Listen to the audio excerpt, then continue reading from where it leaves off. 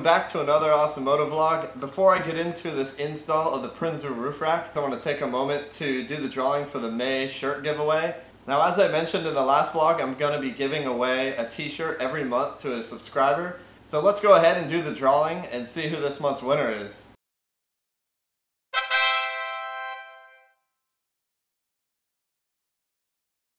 So congratulations. Thank you so much for being a subscriber of the channel. I'll be reaching out to you to coordinate shipping addresses to try to get you that shirt as soon as possible. So for everyone else, if you're not a subscriber and you're interested in getting entered into these t-shirt giveaways, not only will I be giving away t-shirts, but I'll be doing some giveaways of products for your GX. So click that subscribe button down below if you're interested in getting entered in any of these drawings. And thank you to everybody who's already a subscriber. I appreciate all of the support. Alright, so let's just get into today's video.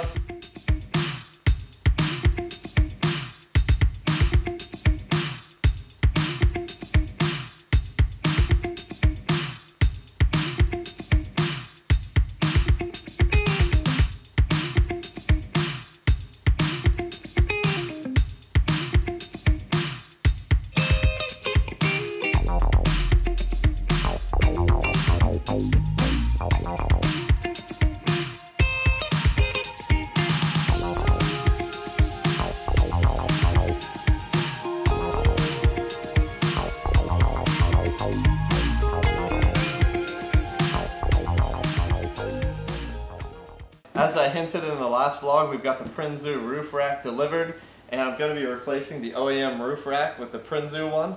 The OEM roof rack has held up pretty nice. I actually don't really have too many complaints with it. In a previous video, I took the roof rack apart and I sprayed it with a truck bed liner, and that truck bed liner has held up really well, and I kind of like the way it looks in black. The coating held up strong, especially with hauling kayaks on the roof. I had many scenarios where I've rubbed kayaks along the side of the roof rails, and I had no issues with any of the paint coming off, so if you're going the budget route, the truck bed liner is definitely a good route to go, and I have a video documenting how to do that. But I couldn't help myself when I saw Prinsu had a spring sale, I think it was maybe 15 or 20% off. I decided I wanted to finally go ahead and get a legitimate roof rack so that I could have some wind deflection up front.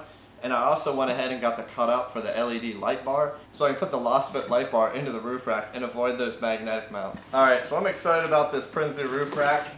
This looks like the rubber trim piece that I see that goes on the bottom of the wind deflector. Here we've got the wind deflector that I was talking about. It's got a nice laser cut Prinsu logo in it. And what these cutouts are for, these are the cutouts for the 42 inch light bar. So I'm going to be putting that Lasfit light bar in place. Have a nice secure place to mount it. Other than those pieces, we got some rails in here that go across the middle. Uh, looks like this is the light bar mounting kit that I ordered with this. And then we've got a bag full of hardware for mounting. Alright, so first things first, I'm going to go ahead and take off the OEM roof rack and clean the roof.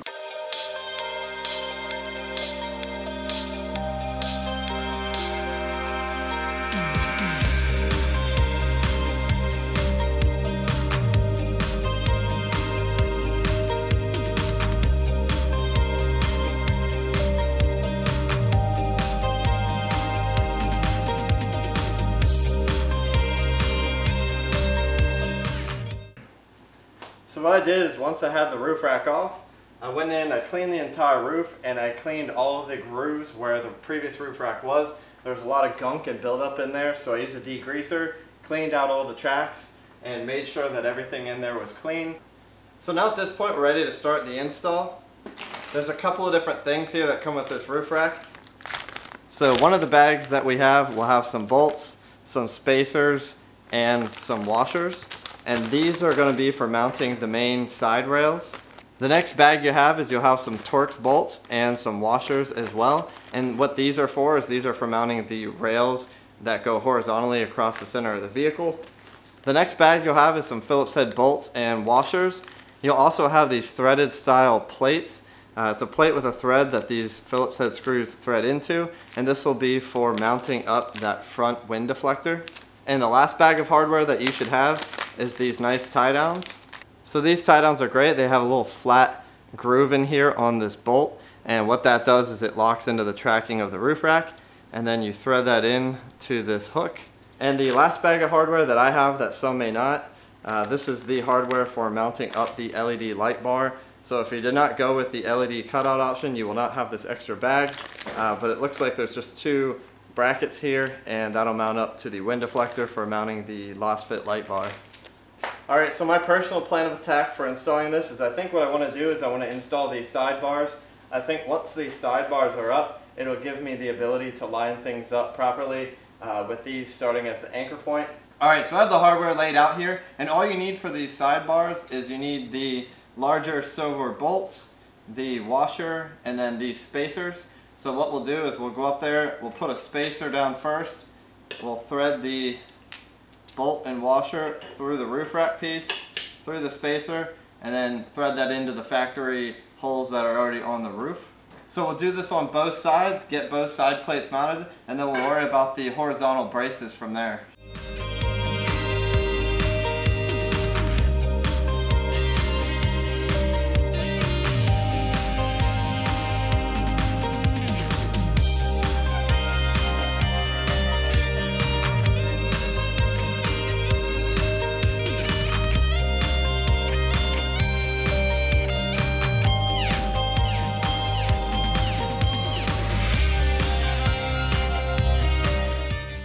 Talk about the spacers. There's a set of spacers that are taller and what you want to do is you want to use the taller spacers in the rear here and what that does is it gives you just a tad bit more clearance so you're not rubbing on the spoiler here. So if you're assembling this on the roof the way I am, you're going to want to keep those side rails slightly loose so we can go ahead and install uh, these crossbars.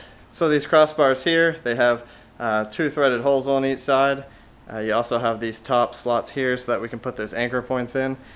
So what I recommend doing is keeping the side rails loose and we'll go ahead and we'll put a few of these crossbars in and get everything lined up and then we'll tighten down and put the rest of everything in.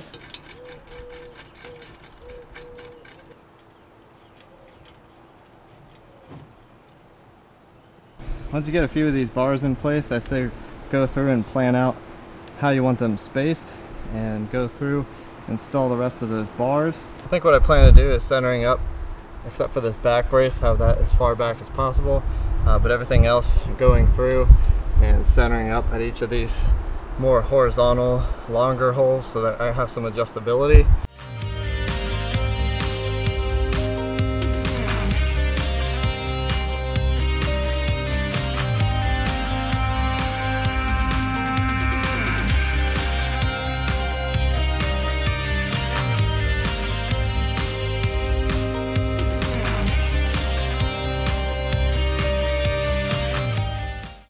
so once you have all the cross members in the place you'd like them, I tightened them down and what I did is once I had everything tightened down, that gave me ability to move the entire roof rack and that gave me the ability to shimmy things up from side to side make sure everything's square and even. So now that I have everything squared up and even, the last thing you want to do is go through back to these main bolts and you want to torque those down and make sure everything's tight. Alright, so the next thing we're going to add is the wind deflector. The wind deflector mounts to an unpainted silver uh, cross member and what this gets mounted to is it mounts directly with the Phillips head bolts with a washer and then there's this plate that gets slid in here. So the easiest way to go about installing this is you go through and you install all of the Phillips head bolts and you put the plate on the back and just lightly thread it in. Make sure you thread these in just a couple of threads because we need some space to slide this into the crossbar.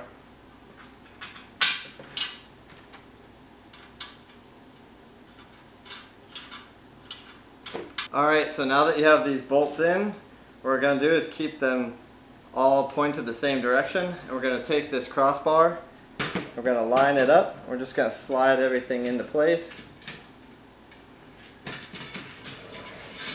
Me slide that in.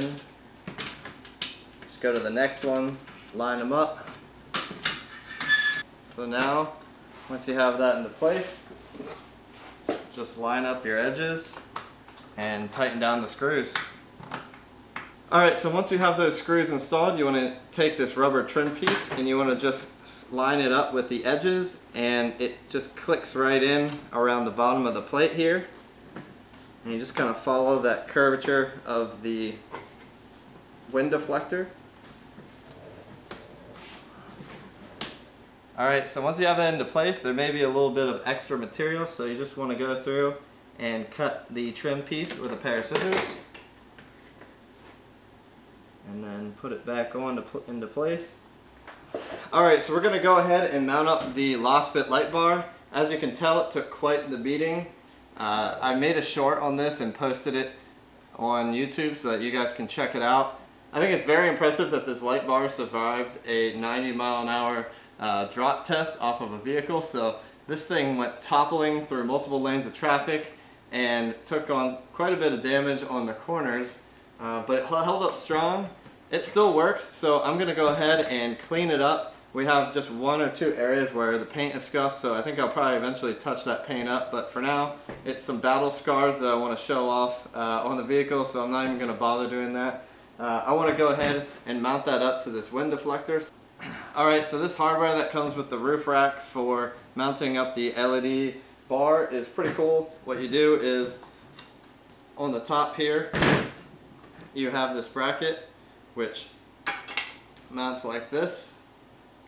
There are two holes in the bottom here and that allows it to bolt in and then once that's in place uh, it gives you some ability here with these bolts. You can slide things left and right and get it lined up.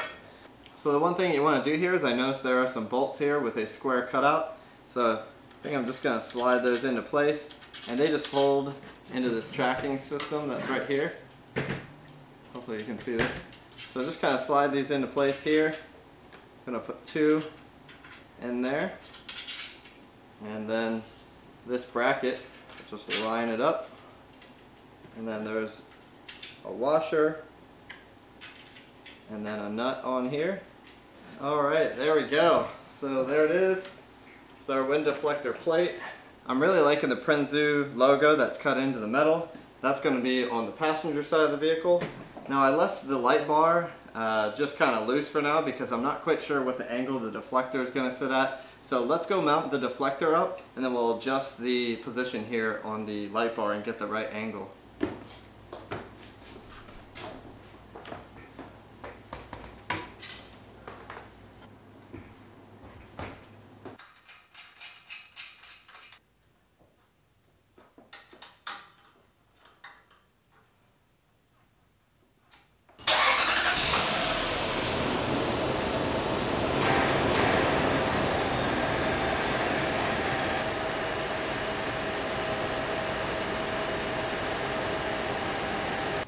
Alright, so I went ahead and I adjusted the angle here on the light bar. And what you want to do for adjusting that is you just want to make sure the light is projecting out ahead of you. The one mistake a lot of people do is they have it pointing too far down and they get glare off of their hood and it blinds them. So what you want to do is you want to have that tilted up, illuminating the road ahead of you. Uh, so make sure you don't get any glaring off of the hood. Once I got to that point I was satisfied with the angle, I tightened up these bolts up here. Overall I've been getting really excited while installing this. The quality of this roof rack is awesome. Uh, I really like the way it looks. Hopefully this wind deflector is a lot better for wind noise. Uh, I used to have that basket up there. Actually, I have it over here against the wall. I used to have that basket over there uh, against the wall. I had that basket with the OEM roof rack and it was noisy. So I'm really hoping that this wind deflector here deflects a lot of the wind. I'm slightly worried about this pocket here and if there's going to be some weird whistling noises from that. Another area of my concern with wind noise is I was wondering if this being, you know, this gap right here being what it is, if that's going to cause any wind noise. I went ahead and just centered these up in every single one of the uh, longer slots. I just centered up a bar in each of those. One thing you want to watch out for is over tightening these Torx bolts. Uh, so as you can see here, I've got a slight issue here. Uh, I think I'm going to go through and drill and tap that out and replace that. But for now, I'm going to leave it as is. Uh, but just watch out. Those are not the greatest quality uh, Torx bolts and they will snap on you. They snapped on me fairly easily and I just want to let everybody know, kind of watch out for that. Alright, so we'll take these tie down points and we'll just add these I've already added them to all four corners of the vehicle, but I wanted to show installing the last one so you know kind of what to do, how this mechanism works. Alright, so you have this bolt here with a square uh, fitting in it so that'll fit into the tracking and then you add a washer and to the top of that you add this uh, tie down point so that's threaded and it just threads right in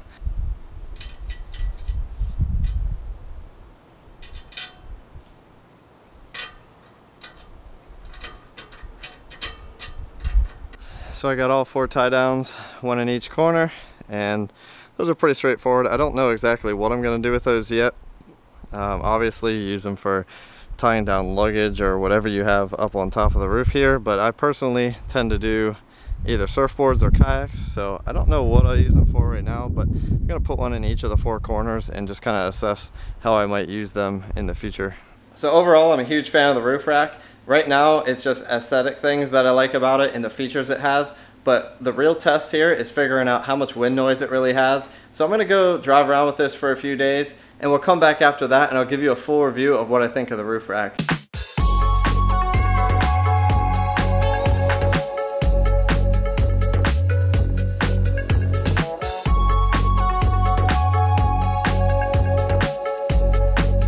Alright, so I've been driving around with the Prinsu roof rack on the GX for about a week now, and I'd say that my top three features are that number one is there is extremely low wind noise. Compared to the basket that I had on there, it is a night and day difference. It is much quieter, and I'd say that this is actually very comparable to the OEM roof rack. Number two is the price point and the features. There are plenty of other options out there as far as roof racks go, but this one has all of the same features that I was looking for, and also had a great price point. And lastly, the third one is actually a feature of having the light bar cutout and mounting option. Although this feature may seem minor to most people, it was a big selling point for me with the Lasfit light bar. And I think it finally gives the Lasfit light bar a good place to call home. Alright, well that about does it for today's video. Also, if you're not a subscriber and you like GX470 content, hit that subscribe button down below. It not only gets you updated every time I upload new videos, but it now gets you entered in for monthly shirt giveaways.